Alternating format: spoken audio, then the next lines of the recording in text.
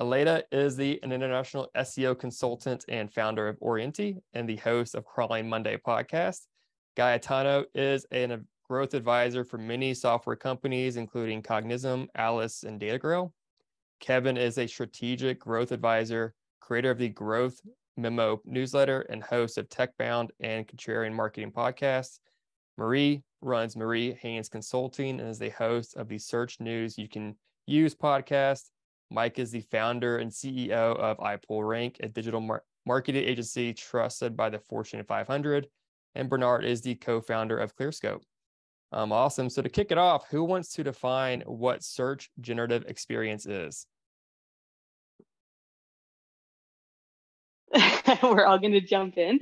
I don't know that any of us are experts on the SGE. You know, we're, we're all sitting here talking about this thing that we've kind of beta tested, but the SGE, as far as I understand it, is um, Google showing AI generated answers uh, first in search for many queries, not all queries. Um, and I, I'm not fully convinced that what we're seeing today is what we're actually going to see in production. So, you know, we'll have a lot of theory probably in this talk. Um, but that's my understanding. And what we're seeing right now is kind of an AI generated answer, although really it's just kind of stitched together from different websites. And, uh, and then they show us some websites next to that. 100% i agree with Marie with that what we're seeing here is like the attempt of google to try to come up with something to compete with chat gpt that like was first was released first. Uh, i guess that they felt a little bit like in a position uh, that uh, to be menaced pretty much as the uh, destination to search for information and they had to come up with something that had to be integrated with the current search experience to avoid let's say disrupting uh, the usage of what they already have. Uh, but at the same time their attempt i would say it has made made it not necessarily as useful or uh, as good even as the Bing chatbot right? But but yes i would say it's the, their attempt of, of integration of this uh, chatbot like experience within their current interface uh, to yeah to, to stay to stay in the in the in the competition as a search destination. Yeah i agree with everything that's said here. Like one we don't know exactly what it's going to be. It's also uh, you know something really early. But what we're seeing is basically like a an alpha product just to appease the market. It's not even like like Aleyda just said, it doesn't have the same, it doesn't have parity with the other things that are out there. Um, but you know, it, it isn't like a, a just a direct knee jerk reaction. Google was building this stuff in the background for a while. They have this thing called Realm, which is is basically um, uh i forget what it stands for but it's their version of what's called retrieval augmented generation and they've had it since i believe 2021 2020 and it's the same uh, framework that's being used for both Bard and for SGE. And basically, what it is is like you feed results into a, um, a language model, effectively pre-tuning it, and then use that to get answers. And so you've got the AI snapshot, which is them being like, okay, here's your answer to this thing, like a feature snippet on steroids. And then you've got perspectives and you know all that sort of stuff. But to me, it's a colossal waste of time the unne- unnecessary feature snippets on steroid when there are already feature snippets many times even below, right? So yeah, so so they spend a lot of money to regenerate the featured snippet in some cases. It's it's ridiculous. But those are going to go away. I don't think featured snippets are going to be there for much and, longer. And the map packs. The map, map packs. Yeah, map packs. Like or, there's basically a replication of the local pack, what they show in SGE. Similar even to e-commerce, right? Like a lot of these e-commerce queries or the results that you see, they're replicated in these organic shopping results uh, at the bottom. So there's a lot of duplication going on right now um, that I don't think will happen when Google rolls this thing out in December. Let's see if they even roll it out. Uh, what, what I do really expect that they actually fix even even before I'll say that are links, citations. I mean, how Have the hell they didn't think of adding over overlay? I mean, uh, the Bing chatbot was already doing the, even something better UI wise, right? Integrating the overlay with links, external links in a much more let's let's say like um, usable way for not not even for a website but also for from a user standpoint right but that carousel at the top right like who will click on that is yeah anyway so bad I have a theory as to why Google's not showing um, links to websites in the answer because they're clearly using the information. Like you can see, it's it's verbatim that they've taken it from websites, and uh, very much like a featured snippet, except that uh, they're not saying which parts come from which websites. Um, my thought, although we don't know this for sure, is that when we actually see something like the SGE Live, those answers aren't going to be um, stitched together from websites. They're actually going to be generated with AI. Um, and initially, until today, I thought it was uh, that they were going to use Bard. I mean, Bard seems to me that it was built to be in search. Uh, it's going to connect with um, with Lens, uh, with you know Google Docs, Google Drive, all those things. But um, when if we see Bard in search, uh, that's a, a, different thing than the answers that the SGE are currently providing, which would um, not be directly from websites. They're trained on the uh, entirety of the internet, but not directly verbatim from websites. And today, uh, I don't know if you guys saw the article in Wired um, where Demis Hassabis was talking about uh, the new Gemini language model. When I read this, it, it kind of I was like, you know what, we're going to talk the, about the SGE today, but I think the Gemini will eclipse everything that uh, we currently know in search. I don't know. I, I feel like I'm, you know, kind of talking crazy talk when you start thinking about uh, everything absolutely changing. But I'd love to hear if any of you guys have thoughts on uh, on that. Yeah, I mean, I think we're gonna see dramatic change, and and just thinking mm-hmm. about, well, you know, you've been talking about this a lot as well yourself, but you know, just the things we've seen in the last seven, eight months have been such a change for everything, right? Like for for the preceding five to six years, search was really boring. And now it's just like everything is different, right? And I think what Google is trying to figure out is what is the right UX for this. And to your point on language models, I mean, yeah, sure the, the language models will be more powerful they'll be multimodal by design so on and so forth which is great but at the end of the day it really comes down to how will users consume this? And i think the the real question is you know how how are ads going to perform in this environment? And we've seen obviously they've rolled it out to some degree and there's a lot of companies that are in the beta and so on and so forth but if that doesn't pick up or if that doesn't take in a way that is you know, just as good, if not better than what we've already got. I think SGE just kind of remains, even with Gemini, it just remains this like novelty that Google has to have because Bing has it. And again, a direct reaction to what the market is doing, not necessarily is this the best product. 100% like they, they have the capacity i believe to do something much better but i mean they are too scared to kill their milking cow on one hand and then also alienate the web ecosystem out there which is already happening anyway. But but yes that how not to kill the ad business and milking cow um, and that's pretty much the restriction they have. I mean they they should ask apple. I mean they have they are doing an amazing work already with their vision pro like the next thing interface to you know browse and interact with like and as they did with ipod versus iphone right? Like they they they have been like quite successful like killing the previous product the, the previous version or, or or interface before. So this what should happen with google. They need to sort out how to change uh, delete the next paradigm of search and killing let's say a little bit the former uh, business model that they used to have uh, while evolving a new, a, new one uh, that will can be even more profitable right? But i guess that they are not quite yet there yeah. But i think that's really part of the problem right? It's and this is i don't think bing necessarily was the only reason for why google adopted this model. I think one big reason is because they saw that ai is getting so good that so many other companies can create a ton of content which really dilutes content as a ranking factor.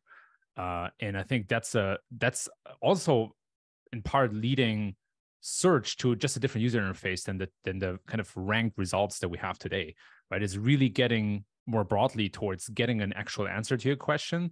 And i think google i think people at google have seen that and are seeing that right now. And that's in part for why they say we, we're probably cutting into our own leg. But what other option do we have right? We're not going to be yahoo where we manually curate results and then somebody else comes around and gives the answer right away. So uh, I, th- I I do agree with all of you that this is a tectonic shift, that the user interface interface for search changes, and that Google has no other option but to concur. Right? They they invented a lot of this technology, and uh, they they always say, "Oh, we had this, we already had this, and we bring out so much better stuff."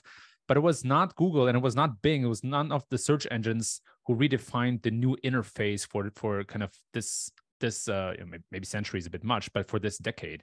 So yeah, I think uh, I think there's many reasons for Google try for why they try to do that, and uh, I'm convinced that they will find a way to display ads and maybe even make more ad revenue than they currently make. Yeah, I think it's possible. I just think it comes down to can they figure it out, and you know, I don't I don't take for granted or I don't take at face value that Google can at this point. Like they've they've messed up a lot of things in the last couple of years, you know. Oh, yeah. Um, but to your point on you know the new interface, it really begs the question: Is chat the best interface for information needs? And I'm not completely sold on that. You know, I I do spend a lot of time, and you know, it's me speaking as me. Like I'm not speaking for the general user, but I do spend a lot of time with like both Google and Chat GPT open. But I spend more time on Google because it's like even if I get something out of Chat GPT, and even if you're using AIPRM to get it, um, uh, you know, it, you still got to verify that information to make sure that it makes sense. And so to that end, I don't really trust chat. And I know a lot of users do because like, oh, it's a computer, it must be right. Like we anthropomorphize it to some degree, but I don't believe that chat is the best way for us to meet our information needs. And and and, and there is where I believe that new perspectives uh, filter comes in and let's say user curated or, or uh, creator driven content comes in that i think that google is trying to blend it little by little with just a filter just a tap an extra uh, option not even as visible in the main SERPs.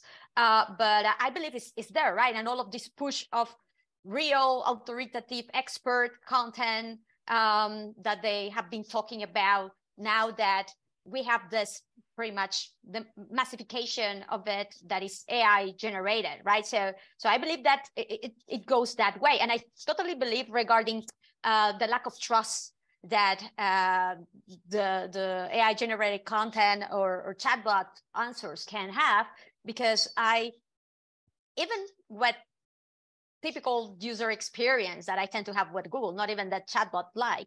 I will go many, many times when it's uh, a non-trivial decision making process, go and take a double look at dimensions and and uh, and uh, visibility and profiles in Instagram or TikTok or social media presence to learn more about what users actually or real people actually think about the brand or location or whatever, right? So 100% it makes sense to integrate that nowadays, especially with all of this conversations about how Generation Z is using TikTok, right, to to search for information because it comes from real people supposedly.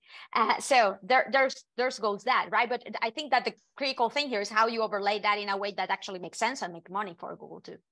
Yeah, I'm not I'm not convinced that the the current model of SGE is the way that is the right way to consume this. It's like I can imagine, you know, there's there's all the voice assistants, but and those make a lot of sense to be like, hey, you know what, what is the highest mountain in the world, or you know those kinds of things. But you know those have already been answering that. It almost feels like, you know, I want to go to like my AI assistant and ask my AI assistant, hey, you know, do this. What's the answer to that? You know, help me write this like Excel script and then search kind of feels like a, a completely different medium where you know i want to look at all these trustworthy sources and it does feel like it doesn't quite belong in the search interface and i commonly find that just the amount of time that it spends generating you know i've already moved off of the serp into you know that position part. one or two right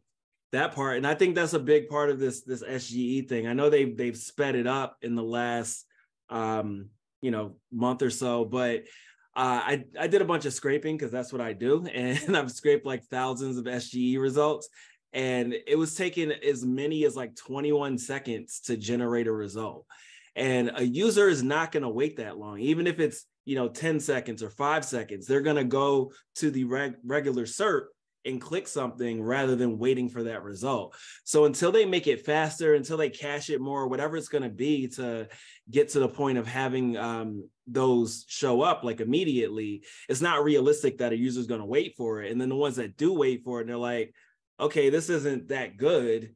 They're just going to go to the regular results anyway. But I think the bigger problem that we haven't really touched on yet, or to some degree we have, um, this idea of what it's going to do to publishers, and especially publishers that are in the um, affiliate space, you know, the Wirecutters of the world that are like, here's my reviews on all these different things. And, you know, I no longer have to go read that article. I can go directly to that product. And so in my example, I, I look for something like, you know, what's the best microphone to record in a apartment in New York City? and it gave me very specific results and i'm like oh cool i can just read this and i don't have to like go you know, read three different blog posts and figure it out. That is going to have a bigger impact on the internet than any of this, I believe, because that's like the core monetization strategy for so many different publishers. RIP list posts. Yeah, go ahead. yeah, I was just gonna say RIP list posts. You know, like even even even doing in-house B two B SaaS content marketing. You know they all want to rank for modifiers containing tools software solution platform system. Very very rare that you have a serp these days that is not you know stacked with g2 what up kevin? Um, all the programmatically generated comparison and list pages. And so you to play that game you have to do list content. But i agree to mike's point you know it's it's going to be a big shakeup for those affiliate players. Um, you know, I hate I hate to say it, but like I would love to see sites like PC Mag take a dive. You know, I, I hate those guys, right? Like, I, whoa, I, whoa, whoa, whoa, whoa, right? Like me being as an in-house SaaS SEO, I've had to pay the middleman as part of my playbook, right? And you know, who knows how that's going to shake things up? And I'm just really curious to see how it all plays out. But I mean, I agree with you guys that it's going to be a a huge bomb on on those uh, on those sites on the middleman 100% but not only the middleman in fact i have to say because yes indeed we, we can see like the ones that will like not necessarily going to have another option uh, to move forward uh, pretty much rely on those best of type of of queries uh, are this review sites um, which pretty much the business model was affiliates. But also if you think about it a lot of plps of e-commerce websites are pretty much going to lose, lose their traffic because the PLP experience is being replicated in the in the SGE interface uh, that is highlighting directly product uh, pages, product URLs, and coincidentally, uh, many of these product URLs, especially for branded queries, Nike sneakers, for example. Uh, if you see the top organic search results right now for Nike sneakers will be the category page of Nike, uh, a couple of other sub, uh, sub, sub PLPs of, of Nikes or whatever, and then um, uh, merchants uh, offering the same products, whatever, Nike products, whatever. Now, if you take a look at how it is going to affect the SGE, pretty much this PLP experience highlighting products is, is right there. Goodbye traffic to PLP. Um, you click on the product pages and it doesn't even gener- refer refer to the Nike website directly, but to the product knowledge panel uh, and, and from there to those pages are actually making a good use of the merchant center and feed and structured data optimization, whatever. So welcome to the jungle here. Not only for uh, affiliates, indeed, but yes, for many merchants and e-commerce websites, especially the very authoritative, highly established brands that a lot of these branded queries like assume going to them by default? Not anymore. It's opening up to many other competitors doing a like really good job at a much more granular bottom of the funnel type of um, uh, actions out there. Google is building a marketplace for e-commerce anyway. They're mm-hmm. already offering direct connection to checkout for merchants. So that whole affiliate thing is again like this middleman mm-hmm. situation it's going to go away anyway because google is basically becoming a second amazon uh trying or trying to fight against amazon. So but but i think the, the kind of core message here or there are probably two core messages here from what we talked about so far. One is that um the ecosystem is changing like as crazy as ever right? This is probably the biggest change to many of these ecosystems whether it's publishing or e-commerce or local search ever. Number two when we talk about content or seo one of the one of the deep questions that we are all trying to figure out is what is the human contribution to content right? What are humans actually doing that machines cannot yet replicate? Because a lot of these ai tools and remember this is only a bit over six months until the like you know chat gpt breakthrough in november. A lot of these tools are getting really really good. And even though they still need some oversight they're not yet you know you can't just let them do the thing and publish the content cold in many cases. We can all see where the journey is going right? And i would argue in the next 12 months when we speak again uh, a lot of us are probably just going to publish content with ai tools that needs tiny oversight we can 10x the output of good writers. So then the question becomes like what's what are humans actually doing that is still unique and how can we find our unique skills and and double down on them instead of have, being replaced by some ai well i think it's more more um sophisticated than that to some degree. And what i mean by that is what a tool like sge does is introduces context windows into search. And effectively what you're doing is you're creating these very personalized paths because when it's like here's your first question that you've input and then it's like well follow-up questions are this it can learn from what the results were in the free previous one and do this like very micro personalization for you. And so what that's really going to yield is this idea that we have to make even more personal content. So if it's if you start from a keyword like uh, Aleyda said, you know, Nike Nike sneakers, and then a follow up question is like, well, what's Nike sneakers to wear for the New York Marathon? And then it's like, okay, it's learned about you that that is your context, and so it's not just enough to like have you know, um, a page about Nike sneakers in general, like we generally do, and then a page about what sneakers for a marathon. You've got to have that whole path so that you end up appearing in that uh that pre-tuning set that's used for you know generating that next result. And so where we come in is is doing that. Like how do we understand the nuances of the specific audiences that do those specific journeys? Whereas before we were just so focused on keywords and not so focused on audience it really just like turns up the dial on that. Yeah i think that's a good point. Yeah. Yeah.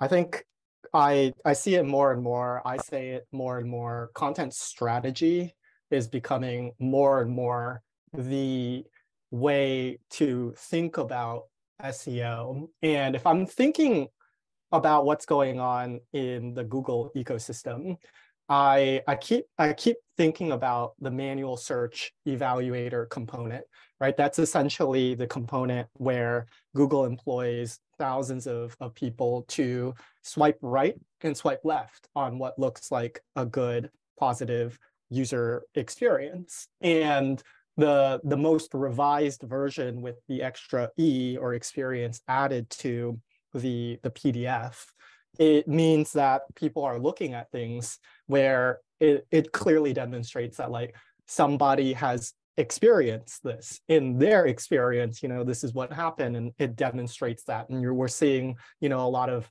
manual evaluators swipe right and say yes right? That's that's a good experience. So i think that we're going to see that shift play in. And so yeah i mean us as seo content creators we can still leverage ai and i think that will make us more efficient but then ultimately, right, it's back to Mike's point. Well, what is the what is the user journey and what is the content strategy that you know we're architecting?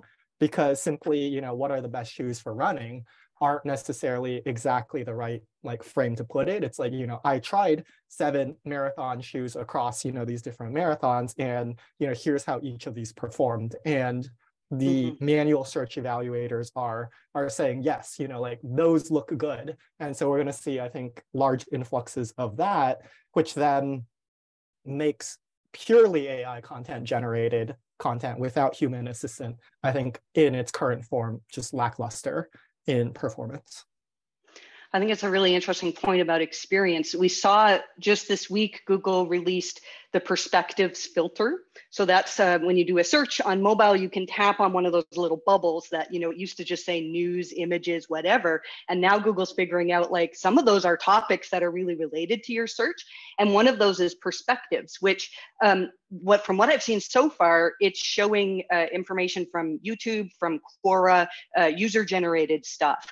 Um, but that's not the only part that Google announced. And we haven't yet seen, uh, they said that they're going to be doing an update to the helpful content system, which will uh, uh, reward content with experience in search as well, not just for those who tap on that particular filter.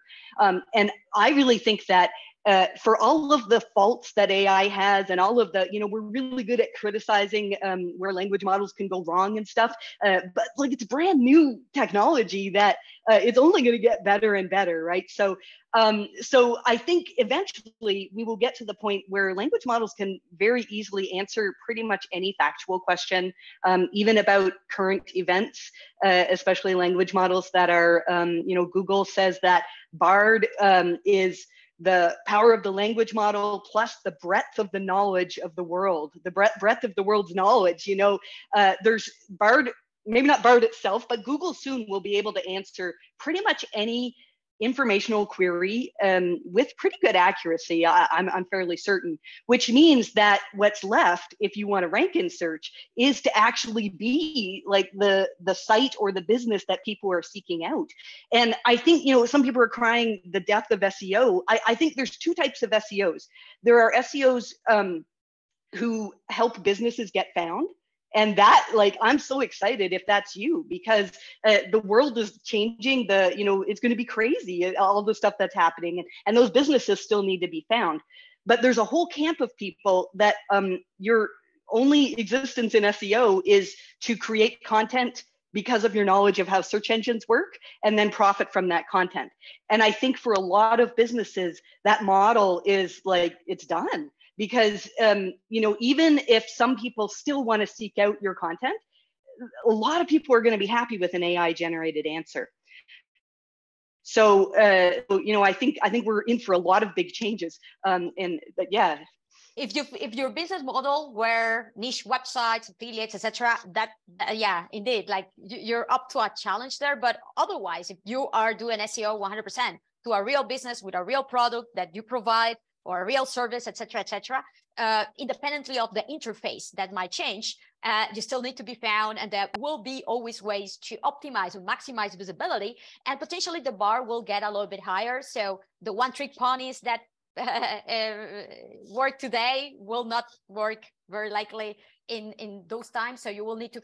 Well, what is important is to be strategic, as you will mention, to understand um, how it works, what what actually push the or move the needle in the new interface, and how you mm-hmm. can help those businesses to to be found for those queries that actually burn business and, and matter at the end of the day. Something interesting that you also mentioned, Marie, regarding the perspective filter, uh, that I, I think it was Glenn Gabe that mentioned it over Twitter, and I went and double check, is that it seems that the perspective filter is shown on mobile uh, whenever the search generative experience is not shown by default when, when you are testing mm. the interface. So it's interesting because it seems that Google is, let's say, segmenting uh, the experience and say, okay, this is a type of query where, where it, it makes more sense to show real users uh, yes. perspective or, or take. And this is the one that we can easily generate the answer from all the information that you know is more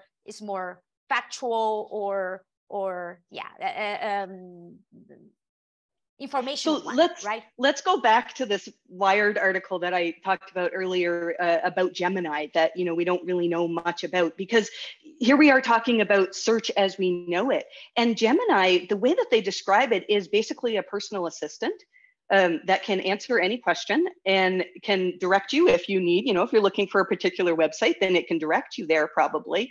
Um, but like i think the whole idea of websites like we're going to one day talk about this little sliver of history that we lived in with this thing called websites. I, I honestly don't think that they're going to be needed for much more. Um, now i know that's like terrifying for those of us who work on websites but there's there's such a um, where, where am i trying to go with this? That what demis hassabis was saying uh, is that what Google is coming out with next. This is not like, ooh, we had an update like the helpful content system. This is a whole new product that uh, that Google is coming out with. And he described it as sim, or at least the article described it as similar to ChatGPT, but also with the um, technology that AlphaGo, DeepMind's AlphaGo used to figure out how to beat like the best Go player in the world. Um, and so they're also making it so that it um, is really easy to integrate. They talked about how their APIs are going to be really easy for businesses to use. And so imagine that now, very soon, every business is going to have the same power that AlphaGo had to figure out Go right from the start, to figure out the problems in your industry. Like that's that's huge, right? And so I, you know, when I read this, I I, I feel like how can we um, how can we still talk about uh, web pages when uh, you know Google has this? And I have this quote in front of me here um, from Larry Page in 2000, year 2000, where he said, "Artificial intelligence would be the ultimate version of Google." This is the year 2000. So we have the ultimate search engine that would understand everything on the web. It would understand exactly what you wanted, and it would give you the right thing. That's obviously artificial intelligence to be able to answer any question, basically because almost everything's on the web. We're nowhere near doing that now. However, we can get incrementally closer to that. And that's basically what we work on. And that's tremendously interesting from an intellectual standpoint. So, Google's whole goal has been to be an AI based assistant. Um, and uh, so, I, I, don't know what uh, point I'm trying to make here other than to say that I think we'll look back at this conversation we had and go, wow, we had no clue what was coming uh, because uh, I, I, think it's going to be changes beyond what we can comprehend right now.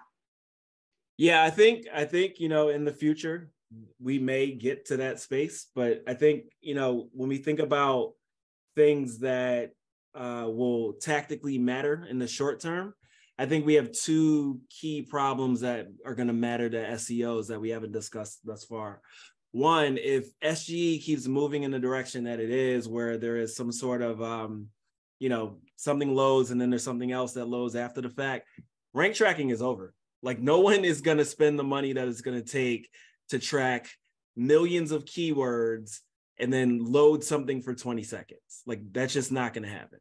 Two, um, content is going to have a huge problem because if everyone is using these language models that are trained on data prior to 2021, or not even that, like even if they update their models and they start pulling in content from now, like since Chat GPT came out, all of that content is effectively polluted to some degree because everyone is using these language models.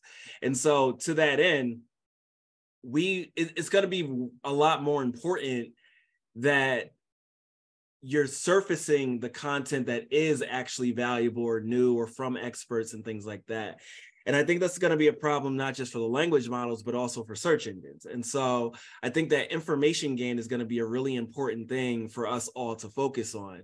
And for anyone that doesn't know what that is, like the in the audience, I'm assuming everyone up here knows.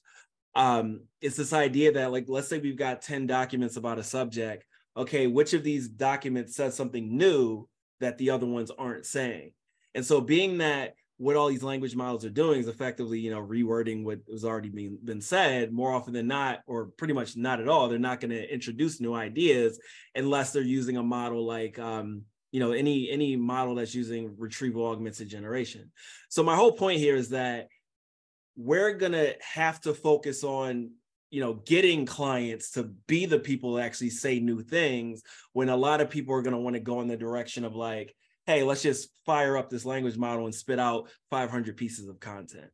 And I, I don't say any of that to discount what you're saying, Marie. I think it's it's a really interesting series of of things that are being presented, ideas, and like you know, it's really us having more of like a futurism discussion when we're talking about all of that. And I'm really interested in what where all that is going. But I think that there's some tactical things that we're gonna need to solve between now and then, and that's still gonna involve you know web pages yeah to, to, that point you know i've been trying to get information gain a part of every single seo strategy that i do in every client project that i work on every company that i've been a part of. One example that always comes to mind when i think about this is the query is identity theft protection worth it?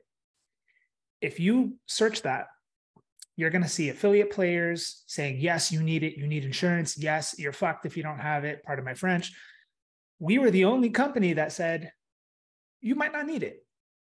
The truth is, you can do all this crap manually. So you don't necessarily need it.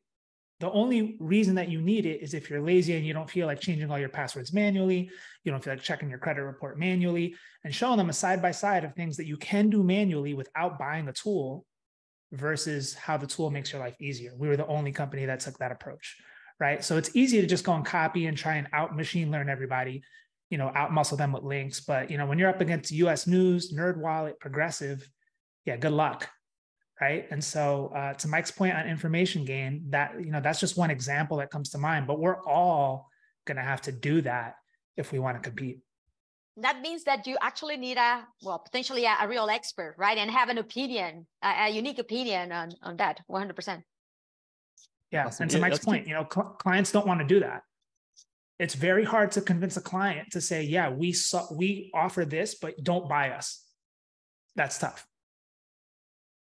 let's keep pulling that thread a little bit um, i know there's a lot of sites out there that kind of wonder like what can we do to start future proofing um, our sites? Like what what can they start doing now in preparation for SGE? I think that anything you can do that demonstrates real world experience is something to focus on.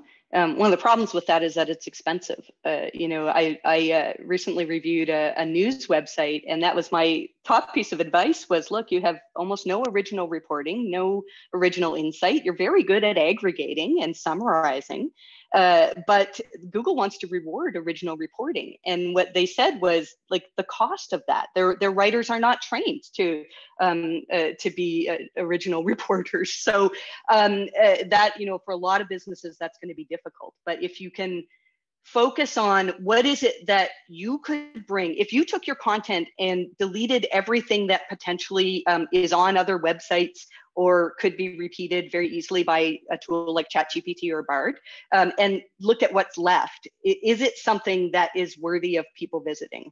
Uh, and so that would be my main focus right now is to see like how can we uh, demonstrate real world experience to try to be rewarded by Google the bar will certainly be higher. And this is something that we need 100% to, to think of. And also the format that you generate this content, right?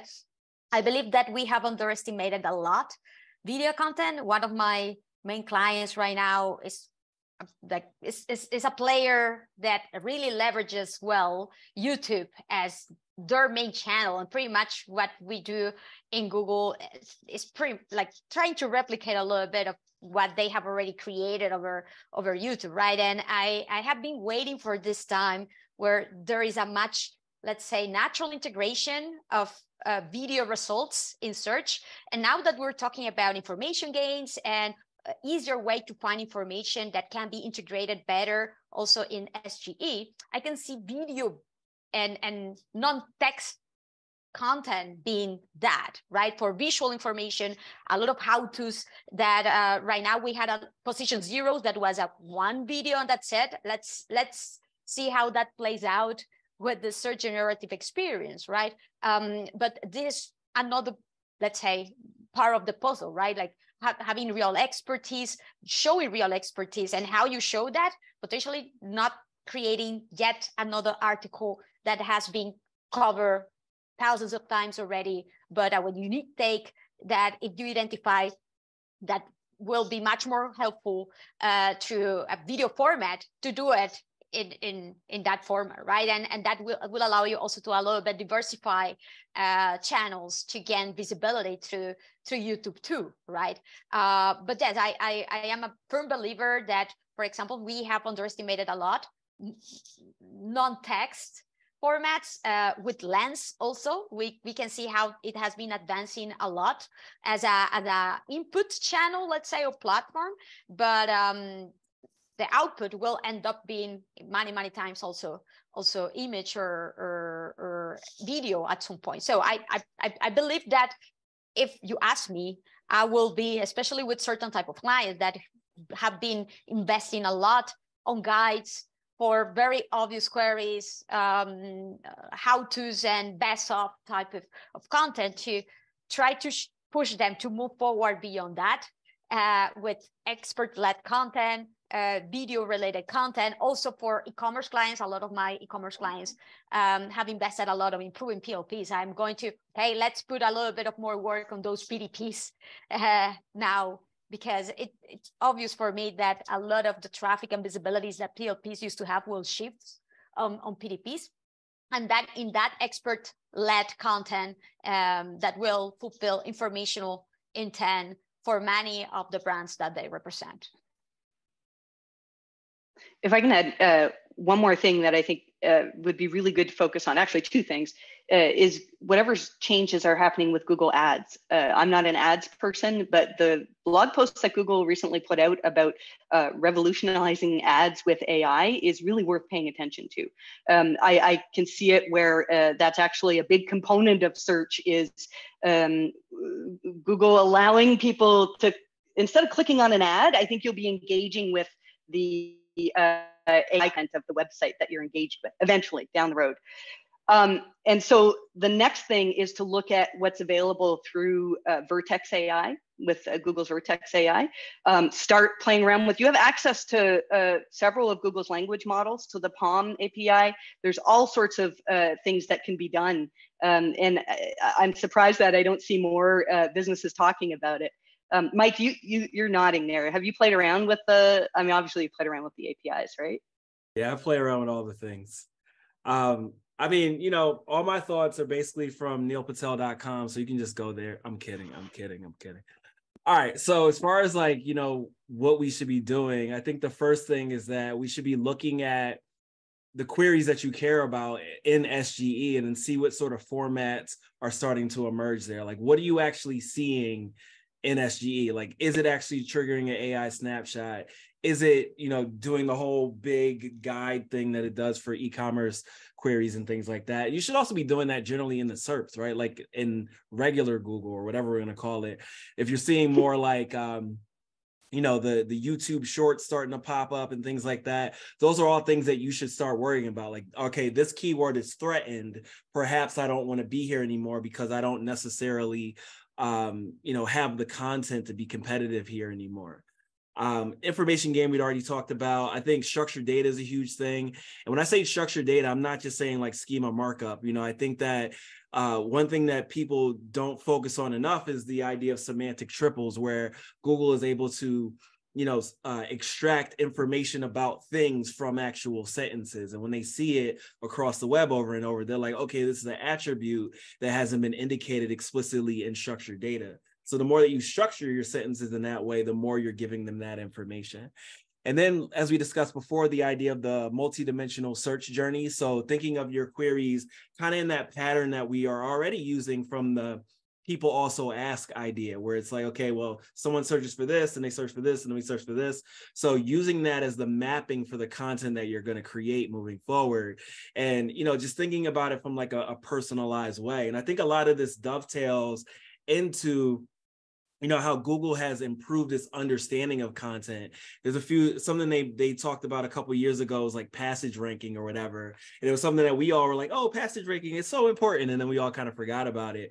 I think that's still like really important and it's a function of how embeddings work and so on. And so they're able to understand like the the, the smaller aspects of the page a lot better. So it's not necessarily we've got to make 500 different pages to, to, capture these different topics is just do it really well on one page. And so my last point here is that the the um, distribution of searches is going to change dramatically. And i think it's largely a function of like we have all been trained to use google in a certain way. Like you don't want to give something too specific because oftentimes you don't get the result that you want. So you start from these head terms but with them being better at giving these more specific responses in response to these longer queries, the head terms, the search volume on head terms is going to get smaller, and then the long tail is going to get longer. And so, really, we've all got to rethink our keyword strategies in alignment with that so that we can, you know, go to where users are going to go as a result of this new user experience. And part of that is also sourcing how you how you understand what to optimize for, right? This whole idea of optimizing for i mean a single keyword has been dead for a long time maybe topic is a bit more viable but uh, what we often forget is that ai goes both ways right uh, ai gives answers in search, but we can also use AI to be more effective. And one part of that is to just source better topics to create content for or pages for from our users, right? So there are many tools out there now that allow you to upload tons of PDFs. As you could just go out there and use uh, transcripts from sales calls or customer support calls, throw them into a tool, and then just query and ask what are the common pain points. In fact, I have done that with a with a with a customer, and we've created some content completely outside of any search terms, or better said, search terms had zero search volume. And lo and behold, when we create content for that kind of stuff, all of a sudden those pieces of content get a lot of traffic. So I think we also we should like also use the opportunity to to throw overboard some of our old kind of methods and workflows and think about what does an AI enable us to do now, right? Another example, lots of these uh, uh, chatbots that everybody has now, those are interactions with customers. And not a lot of people log the questions that customers have and what they first ask for. So uh, we can substantially optimize our experience. I think that websites have become most websites have become incredibly boring over the last 10 years. It was barely an innovation. They all look the same. And uh, not enough people are thinking about how can we provide something truly unique, some interactions maybe. Like you can, like uh, one example here is a Vimeo or Descript, right? That allow you to edit video or audio uh, uh, like text. And so they brought that to the landing page where you can try out little features of the product on the landing page in itself. And that is a great way to not only get people bought in before they even sign up and increase their excitement about the product, but also to stand out with a unique experience. And I really think that we need to innovate more about what a good web experience actually looks like. And AI actually gives us some great tools for that. I mean, we definitely will need to, let's say, re-educate clients, right? It had it has been like quite easy, let's say, especially if we take generic search volume as a as a reference, right? Uh, for say, okay, it, it has this potential uh, of traffic because it has this average search volume per month, this trend, whatever, whatever. But if, if it is going to become so much more segmented and spread through the long, long, long, long tail, um, imagine now having to, let's say, invest on so many different pieces of content rather than, than a single one uh, for which many times it was a, it already required a little bit a little bit of like good influence right there especially like for example if you work with e-commerce websites to invest on informational content oh my god how i am going to invest on content that doesn't bring me money directly right? Uh, it, I, I believe that we will see a little bit of this need of elevate a little bit our capacity to um, communicate and and show value and show the value that is going to be, be a little bit, especially at the beginning, much more complex to show on the potential, on, on being more strategic, on, on developing content that requires expertise and unique takes, for example, and that is so spread out. And it's not a single long form guy trying to rank for the very popular top of the uh, uh, top of the funnel query that everybody wants to rank with, right? And and uh, to send a bunch of backlinks to uh, improve popularity and pretty much that's it right? Now it's, it's not going to be so straightforward anymore. Yeah I, I agree so much with that you know? Like would you rather create demand generation best practices or how to allocate my demand generation spend across paid channels that's a real problem that demand generation managers have at companies. And a part of this is also going to be about creating some demand. Like seo has you know traditionally been a demand capture channel. You find volume you create content you rank you get traffic you pull it all in. Businesses now got to think a little bit omni-channel. All right how are we going to create some of this super long tail content and get it rolling on some of these other channels uh, and use paid and organic marketing strategies together to go reach our target customers? That's the way i see it excellent points and we have seven minutes left so i want to get it to uh, an audience question which also kind of sums up some of these like privacy concerns. But Chris asked, he works in the biomedical industry and their content is pulled from their page and reworded in SGE, oftentimes incorrectly. How should they and others combat this? I think that Google is aware of the issue um, and they've been very quiet about it. You know, they've said well, you know, the websites are on the side and, you know, maybe uh, uh, just like with featured snippets, you know they took our, our content and then we had a link from it. And sometimes that was beneficial and sometimes those featured snippets stole all of our our uh, our clicks. Um, i you know i think we can continue to complain but i don't know that there's much more we can do beyond that. But then again uh, it's possible that google is doing nothing because this is just an experiment and what we see go live uh, will have a language model in there rather than um, uh, like actually have truly AI generated answers as opposed to stitched together answers. Uh, so I'm not sure what the recourse is. I, I, can't see how Google could go live with um, with just blatantly taking content from everybody's website the way they are uh, and not uh, and continue that way. I, I don't know. So I, I'm with Marie. Like it's not something that we can easily solve overnight, but I think it's an indication or another indication as to why the SEO world needs technical standards. And it's also the sort of thing that if we were to establish that, we could then probably, you know, enforce that in different places. And what I mean by that is, how is it that the biggest search engine is defining what robots.txt is? That makes no sense. Like, why do they get to define it? Like, they are crawling the web. We should be, like, the web should be saying, here's what robots.txt is and here's what you need to adhere to as a as a, a search engine. And so if we were the ones to define the technical standards we could say like oh robots.txt now has a rule that means you can't use this copy for a large language model or for generating content. And being that we don't have that level of control there google can do whatever they want. Like can things be removed from the language model? Like if something was whatever Google trained it on. I mean, we know that ChatGPT was trained up till 2021, right? We don't. I don't know if we know when LaMDA or, or PaLM or anything was was trained up to. But if something's in there, I don't know that you can just remove it.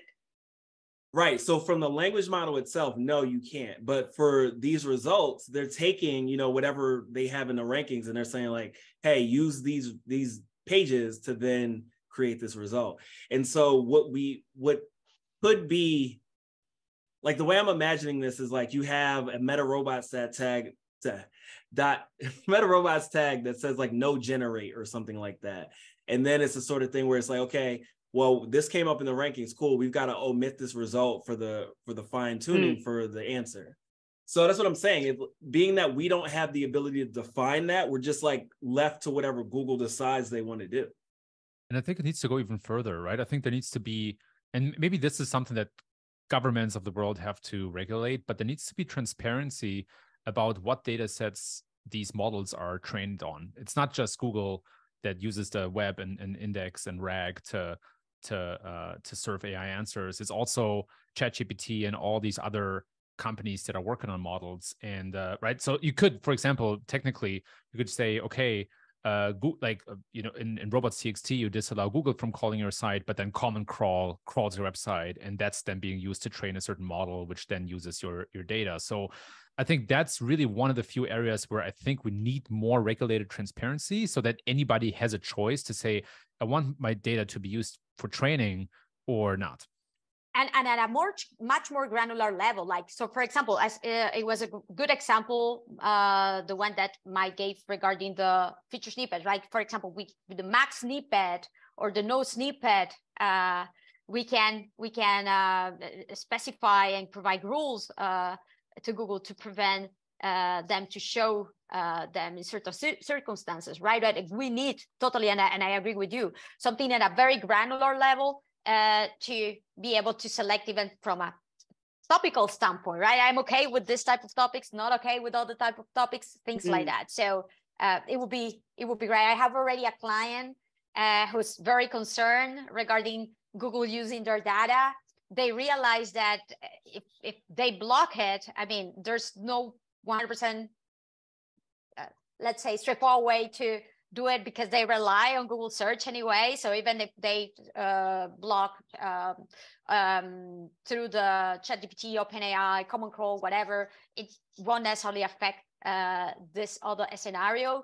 And it's it's tricky, and um, it just we don't have means right now. We don't have an answer, and yeah, it would be great that Google is going to go ahead with this new interface, new way of searching. At least they provide channels and configurations to control uh, that to happen. In any case, like the the um, the type of conversation that I have with uh, this client is like, imagine that if you are able and allowed and block this information, is Google and other language models not going to be able to get this information in any other way, right? And this is where uh, the expert-based content comes also in hand. If you have unique information, unique content that is actually so valuable that you can control and can damage the experience of people if you're not able or willing to give it, right? Uh, so it's food for thought here. But in their case, it was like, no, pretty much they will be able to get the same information elsewhere. So it doesn't make any sense for them to try to block it in any case. Man, it's a good place to kind of wrap. Um, this hour by really, really fast. Again, thank you so much for your time today. And I want to give you everybody a last, um, some last words. So, Aleyda, if you want to kick us off with any kind of last words before you give everyone their day back, and then Bernard and kind of round the horn. Um, I think that uh, we are in this moment that uh, it's we might be a little bit scared, but it's also very exciting at the same time. Uh, my recommendation will be to keep things strategic. Um, look, take a look at the SERPs. That is the best advice I would say Generic overall, applicable to everything, especially now. Take a look at the SERPs uh, for the most important type of search behavior that you tend to to to follow and and to profit from, uh, and act accordingly to what will keep the visibility up and clickability clickability up of your clients or branch results um, and experience. And um, let's let's be open also to what we can do in many different ways. Maybe, hey, we become creators all of a sudden, or uh, it, it can change in so many, so many different ways. And it's certainly exciting. I, I believe that in a year, if we repeat this, um, it will, it will be interesting to see how our takes have changed and how it has everything evolved. Uh, maybe half of us, we don't call SEOs anymore, but something else. I don't know. AI optimizers. I don't know. Let's see how it goes. Yeah, Aleyda, you you wrapped it up very nicely. I think the the way that I would frame it, just for everybody out there, is that Google has been cannibalizing their ecosystem since the start of search. This is just a further cannibalization of what they're already doing. You know, in the past, you would you would have searched weather and you go to like weatherchannel.com. Now Google gives you the widget, right? Now people are searching you know, what are my, like the best shoes for marathons? Google's generating some AI. All of this has been happening, but search has still stayed strong. And so I think that, you know, we we need to stay on our toes.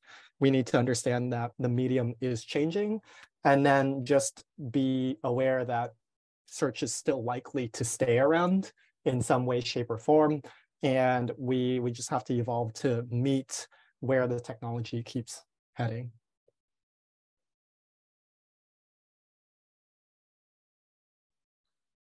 Gaetano, you going in alphabetical? Yeah. Yeah, I mean, great panel. Thanks to everybody for for making it happen. I, I learned a lot just listening to all you guys, and um, I, I, kind of agree with everything that's been said. You know, with Bernard's points, Aleyda's points, Mike, Marie, Kevin, you guys all made a lot of compelling points a lot to think about. Um, I don't think SEO is dead. I think you know we'll be around, and uh, maybe we'll be called AI optimizers. But at the end of the day, um, we're still content strategists and business strategists, and uh, uh, companies need people like us to grow and and to get results. And so we just got to level up and stay on top of our game. That's what it comes down to. Yep. Um, I agree. I think you know it's it's so hard to say what happens. We don't even have any traffic data. It's not even live in the public. I mean, SGE that is. But uh, I've been thinking a lot about how do you de-risk the future, and one way of de-risking is of building email lists or building ways to reach your customers and potential customers faster without Google being in the way. So I would optimize for three things. I would optimize for email signups, making it super simple for people to stay in touch with you and for you to broadcast to an audience.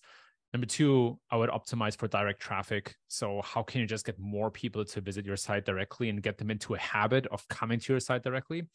And then number three, how do you optimize your web footprint? How do you optimize, you know, how do you track how often your brand is mentioned and how do you just get on as many sites as possible instead of relying on one search engine to send you traffic. Marie, over to you. Yeah, I, I would like to just encourage everyone um, to be excited and to to try the new stuff that's coming out. I think um, whenever there's a change, we are, it's natural for us to be fearful and it's natural for us to criticize. Um, you know any new change in, in history uh, caused all sorts of, of criticism. Um, and what we often see is uh, you know leaders in our industry or, or, or people um, you know we're really good at pointing out the things that uh, these tools can't do and that they're bad at.